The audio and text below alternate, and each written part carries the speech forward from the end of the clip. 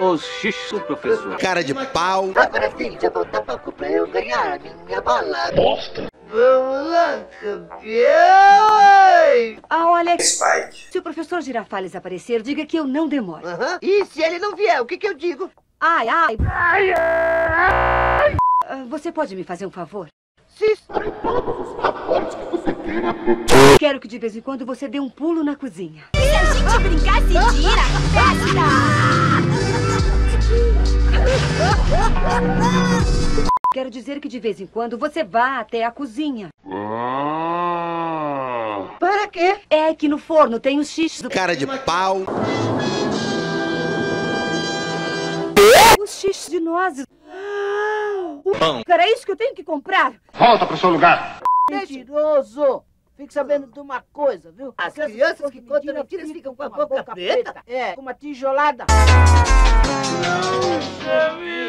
Queria quebrar esse tijolo na cabeça do. Spike. Eu não queria quebrar o tijolo, eu só queria quebrar... Como pode, né? Você já me deixou irritado. E o que te interessa, hein? Segura isso aqui.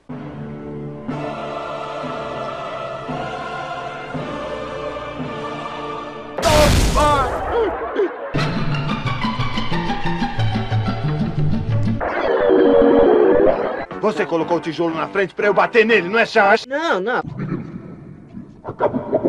Não é verdade. Solta esse tijolo!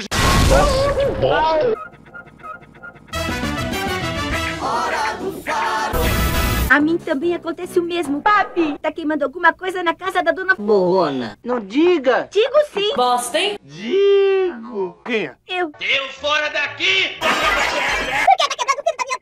Esse é o único jeito de abrir a janela. Não, também pode se abrir por dentro. Como pode, né? E por que, que o senhor quer entrar na minha casa? Tem alguma coisa queimando lá dentro? O xixo, o xixo, o xixo, professor, sai da frente!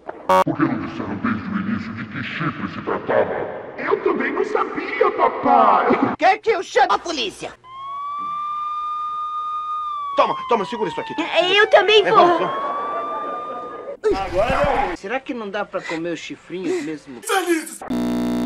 Não faça essa cara de Besta. me responda.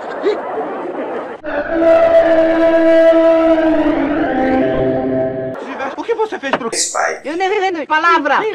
Palavra! Então por que gritou mamãe? Nossa!